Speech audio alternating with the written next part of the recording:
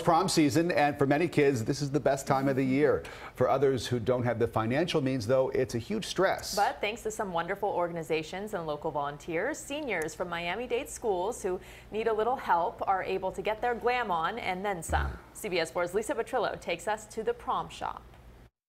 What you can do is to glitter your eyes. We have some back there also. Oh, that's beautiful. I love it. I don't even want to take it off till the day comes. For high school seniors, there's nothing like the excitement of shopping for prom.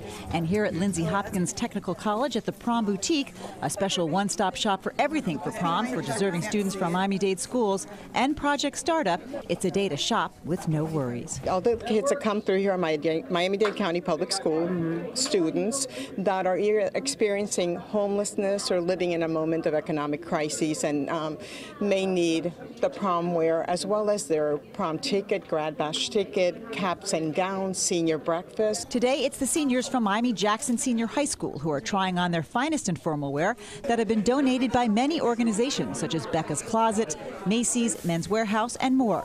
There's more than $400,000 in dresses alone here, most still with tags on, as well as accessories, makeup, and shoes that have been privately donated. Today, it is about putting the bright lights on them. Miami Dade Superintendent Alberto Carvalho says for these students, it's all about feeling like everyone else. These are some of the neediest kids, the most fragile uh, young men and women.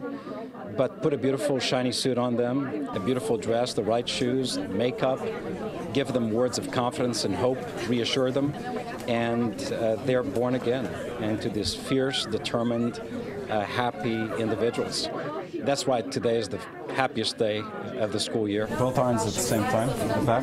The superintendent worked hands-on with some of the boys and picked out this suit and vest combination for Charles Smith, a senior at Miami Jackson. The superintendent dressed you. How was that, first of all? Yeah, it was pretty awesome. Like, he helped me pick it out, and we didn't stop till we found the right one. For the young ladies, it's beyond meaningful. It means everything. I'm so grateful for all of this. I was kind of getting worried because my mom was like, oh, you can't get a dress, you know, too expensive or too this, so I thought I was going to get like a plain dress.